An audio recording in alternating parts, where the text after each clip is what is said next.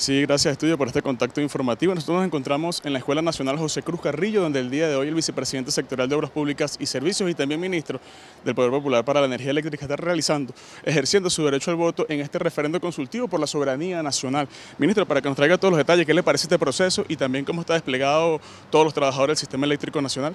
Bueno, muy buenos días a todo el pueblo de Venezuela. Estamos muy contentos de participar en este día histórico para nuestra patria en este referendo consultivo, eh, un derecho establecido en nuestra Constitución, junto a la familia. Ha sido un día para la democracia, un sistema muy sencillo y muy rápido. Aquí está el representante del Consejo Nacional Electoral de esta escuela, que nos ha explicado pues todas las, diferentes formas como ejercer el voto y bueno, estamos aquí muy contentos este, transmitiendo desde aquí, desde el Valle de Caracas, este proceso electoral que se está desarrollando con toda normalidad.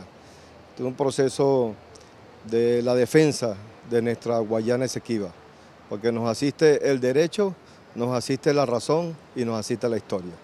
Y por eso pues invitamos todo el pueblo de Venezuela, a Venezuela toda, a que salgan a ejercer su derecho al sufragio.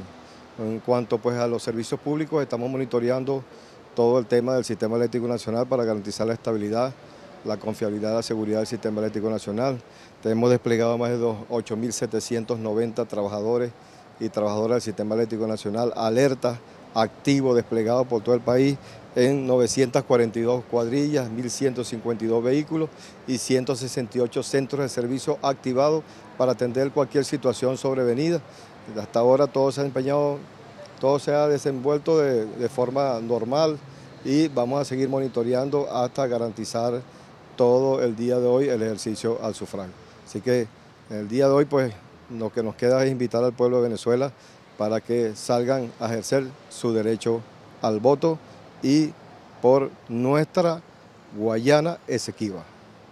Bien, amigo, escuchamos palabras del ministro del Poder Popular para la Energía Eléctrica y vicepresidente sectorial de Obras Públicas y Servicios, Néstor Reverol. Él informaba que más de 8.700 trabajadores de la fuerza trabajadora del sistema eléctrico se encuentran desplegados en todo el país para garantizar la optimización del servicio y el buen desenvolvimiento de esta efecta electoral. Con esta información nosotros vamos a retornar el pase a los estudios.